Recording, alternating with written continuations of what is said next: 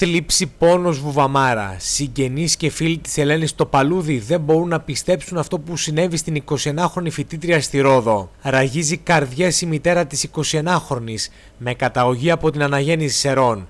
Η νεαρή φοιτήτρια βρέθηκε δολοφονημένη την Τετάρτη σε βράχια στη Ρόδο. Η μητέρα της 29χρονη, μιλώντας στην κάμερα της εκπομπής της Τατιάνα Στεφανίδου μαζί σου στον Sky, δήλωσε οργισμένη και θυμωμένη. Με τα κτίνη που έκαναν αυτό το πράγμα στο παιδί μου, όπως είπε. Τι τους έκανε, είπε χαρακτηριστικά η μητέρα της 29χρονης. Είχε όνειρα το παιδί μου. Ήθελα να την τύσω νυφούλα, όχι να προσκυνάω Στέφανα και να ετοιμάζω κηδεία. Γκρεμιστήκαν τα πάντα. Γκρεμιστήκαν τα πάντα. Εγώ τώρα ούτε, ούτε μισή ζωή, τίποτα. Είμαι πεθαμένη και είμαι θυμωμένη. Έχω οργή και θυμό με τους πάντες. Ο θυμός μου θα κατευνάσει μόνο αν βρεθούν αυτοί που το κάνανε και να τους πω γιατί το κάνατε. Τι σας έκανε το παιδί μου; Θέλω μία απάντηση για να γαλινέψει η ψυχή του παιδιού μου. Πρώτα η Ελένη μου να γαλινέψει εκεί που θα πάει. Στην τελευταία της κατοικία που της έπρεπε. Εγώ φανταζόμουν να την κάνω νυφούλα και να προσκυνάω Στέφανο. Όχι να έρθει στο σπίτι με φέρετρο και με νηφικό και να τη στείλω νύφη στο, στον άλλο κόσμο. Είχε όνειρα, είχε όνειρα, είχε όνειρα το παιδί μου, είχε όνειρα πολλά και εγώ μαζί της. Πάντα τη σιγόντα, Ελένη, εκείνο να μάθεις, Ελένη, να κάνουμε και εκείνο. Και εκείνο, Ελένη, και το άλλο, Ελένη. Τούρκικα πήγαινε. Τα αγγλικά της πήγαινε, στα αραβικά πήγαινε. Έξι εξάμεινα πέρασε. Με τα, τα επίπεδα της τα πέρασε στα αραβικά. Ήταν περήφανη για το είναι, Ελένη. Ε, την αγαπούσα και. Ναι, γιατί ό,τι δεν μπόρεσα στη ζωή μου εγώ να κάνω, παρόλο που έγινα νηπιαγωγό, ήθελα να κάνει το καλύτερο. Να ζήσει καλύτερα, να απολαύσει καλύτερα πράγματα στη ζωή.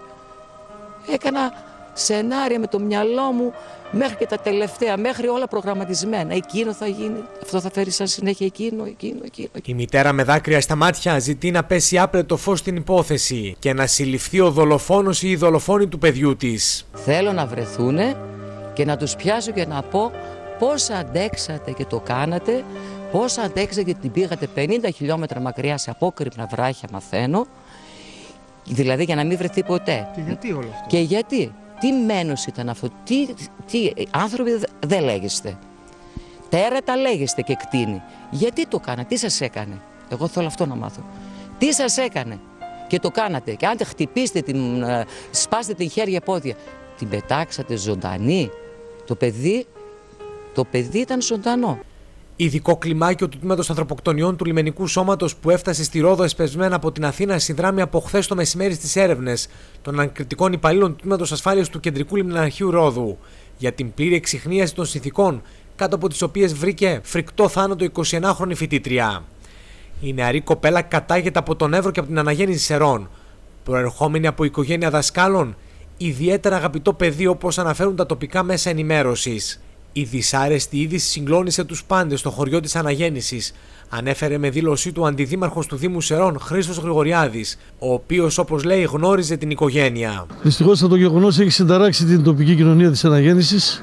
Είναι ένα τραγικό ε, συμβάν ε, σε μια κοπέλα ε, η οποία η μάνα της είναι από την Αναγέννηση, μια οικογένεια πολύ καλή ε, πήγε να σπουδάσει η κοπέλα και βρήκε τραγικό θάνατο. Εσείς τους γνωρίζετε, έρχονταν στο... Βεβαίω, βεβαίω. Συνάδελφος είναι και ο πατέρας. Ναι, γνωριζόμαστε πολύ καλά.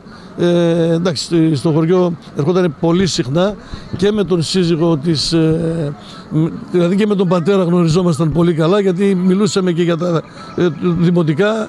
Είχαμε πολύ καλές σχέσεις.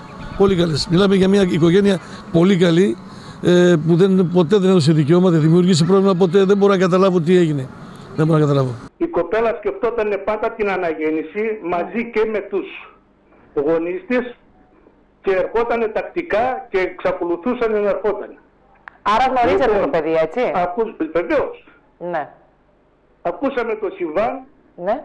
Τι να πούμε, στο χωριό, στεναχωρημένο, από αυτό το συμβάν που έγινε. Σύμφωνα με πληροφορίες, οι άντρες του κεντρικού λιμεναρχείου Ρόδου που διερευνούν την προανάκριση έχουν ήδη πάρει καταθέσεις από φίλες της 29χρονη φοιτήτριας σχετικά με το αν τους είχε πει κάτι η άτυχη κοπέλα. Παράλληλα, οι άνδρε ελληνικής αστυνομίας έχουν ζητήσει την άρση τηλεφωνικού απορρίτου στο κινητό της φοιτήτριας σε μια προσπάθεια να διαπιστώσουν αν είχε κάποια επικοινωνία πριν βρεθεί νεκρή.